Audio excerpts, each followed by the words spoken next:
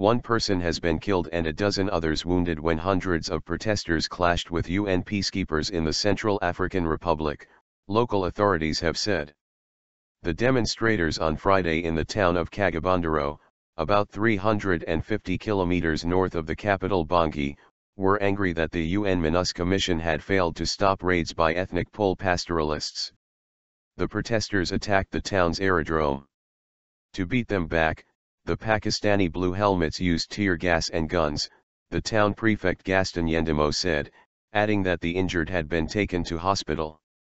Among those hurt was a Pakistani peacekeeper. A statement from MINUSCA said up to 400 people, some armed with weapons, attacked the camp. They threw stones at peacekeepers and tried to force their way through the camp barrier, which they set on fire.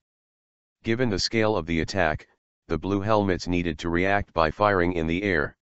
We deplore the death of one person and several injuries among the attackers, it said, adding that it was the second attack in a week against the base. Thousands have been killed and around a million displaced from their homes in violence that has gripped the impoverished landlocked country since the mainly Muslim Seleka took power in March 2013.